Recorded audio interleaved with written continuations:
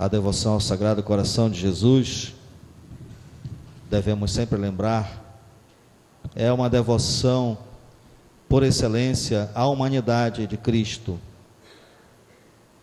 Por isso não foi tão fácil esta devoção, que é muito antiga, nós podemos encontrar testemunhos nos padres da igreja, nos, nos místicos católicos, essa devoção, mas ela só se firmou definitivamente na igreja no, no século XIX, um contexto muito difícil na vida da igreja, enfrentava as transformações do mundo que se tornava cada vez mais materialista, cada vez mais distante de Deus.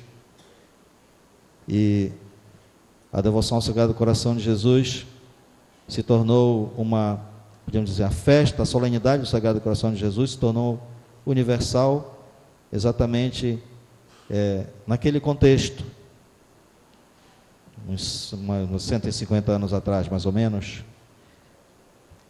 E nós lembramos sempre que essa devoção exalta, de modo muito especial, o lado humano.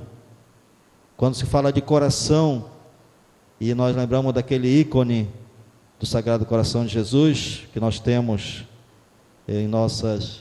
Aqui está, no nosso. Aqui na, projetado na parede.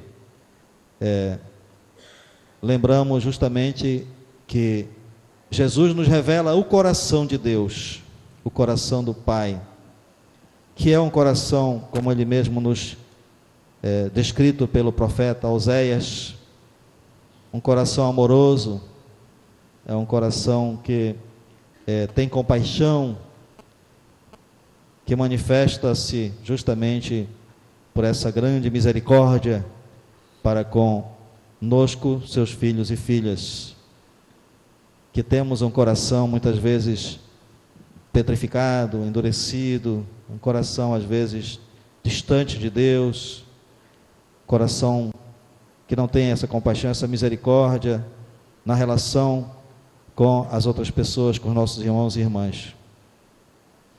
Então, celebrar o Sagrado Coração de Jesus é celebrar esse coração de Deus que pulsou no peito de um ser humano justamente o Filho amado Jesus, que nos revela de modo visível como Deus nos ama, como Deus é Pai, como Deus é misericordioso. E essa contemplação do coração sagrado de Jesus deve sempre nos fazer mudar de vida, transformar nossos corações, como nós dizemos naquela naquele refrão que repetimos, vocês lembram? Sagrado Coração de Jesus, fazei o nosso coração semelhante ao vosso. Vamos repetir de novo? Sagrado Coração de Jesus, fazei o nosso coração semelhante ao vosso. Significa justamente buscarmos esta transformação, essa conversão na nossa vida, essa conversão do coração é porque tudo aquilo que vem do coração é verdadeiro. É? Tudo aquilo que vem do coração, é, se é a oração do coração, é, é verdadeira, porque parte do núcleo de nós mesmos, da nossa alma, podemos dizer assim. Então, nós, celebrando hoje o Sagrado Coração de Jesus, nós celebramos essa redenção que o Senhor nos concedeu através da entrega do seu filho, e nós, nós temos hoje na leitura do Evangelho aquele momento extremo em que Jesus vai ser retirado da cruz e sem ter seus ossos quebrados, como para cumprir a profecia, nenhum dos seus ossos será quebrado. E também aquela outra profecia, olharão para aquele que transpassaram. Jesus é traspassado por uma lança e do seu coração aberto pela lança brotam sangue e água, dois elementos que representam a vida. É? Se o sangue pode representar a morte, a água representa a vida, o espírito que dá vida. E é contemplando esse coração traspassado de Jesus, do qual brotam os sacramentos da igreja, como nos diz a oração, como rezamos na oração eucarística da solenidade que celebramos hoje.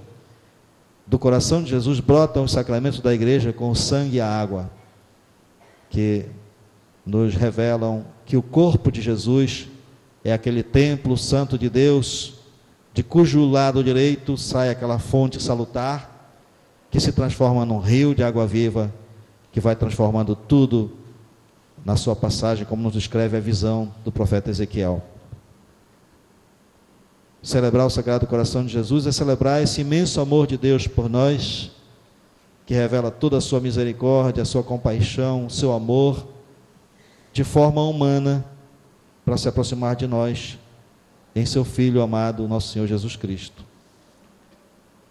E, e contemplar, olhar para aquele que foi transpassado, contemplar Jesus na cruz, contemplar o seu coração transpassado, vai com certeza nos fazer aprofundar cada vez mais a nossa fé e compreender, como nos convida São Paulo, toda a profundidade, toda a largueza, incomensurável do amor de Deus por nós.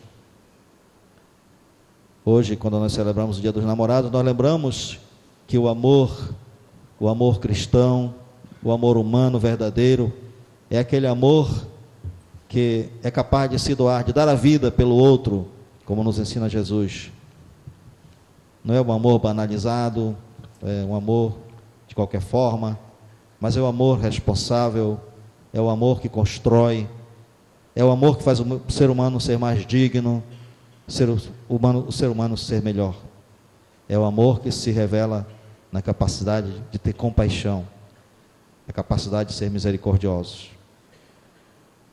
Nós olhamos para Santo Antônio de Lisboa e aprendemos dele esse mesmo amor, esse amor que nos faz ver no outro nosso irmão e que nos faz ser sensíveis às necessidades dos outros, como nós rezamos naquela bonita oração pela paróquia que temos no início da nossa trezena.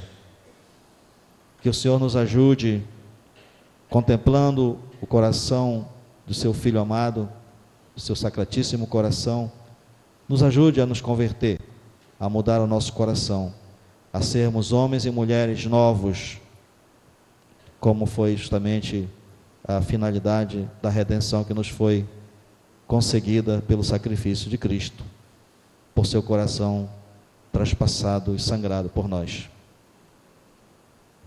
Vamos repetir mais uma vez aquele, aquela oração, Sagrado Coração de Jesus fazei o nosso coração semelhante ao vosso. Em nome do Pai, do Filho e do Espírito Santo. Amém.